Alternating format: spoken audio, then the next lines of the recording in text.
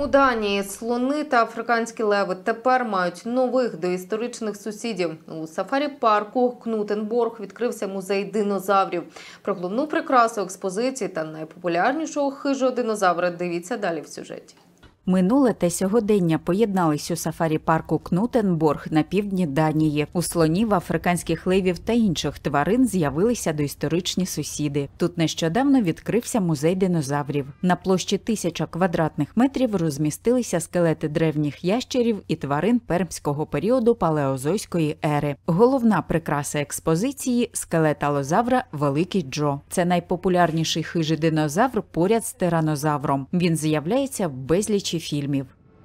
The Allosaurus Алозавр найбільший хижак свого часу та найнебезпечніший. Це такий величезний м'ясоїд. Це і вражає, і лякає. Наш експонат один з екземплярів, що найкраще збереглися.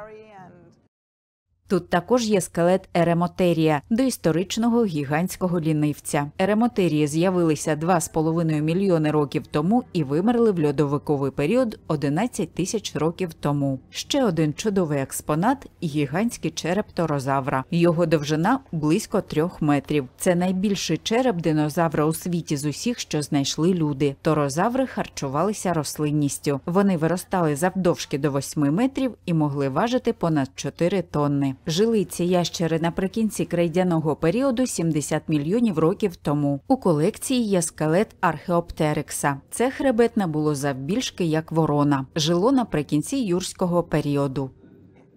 Чудово подивитися на слонів, а потім прийти сюди. Так можна порівняти слонів з динозаврами і уявити, наскільки великими були доісторичні ящери.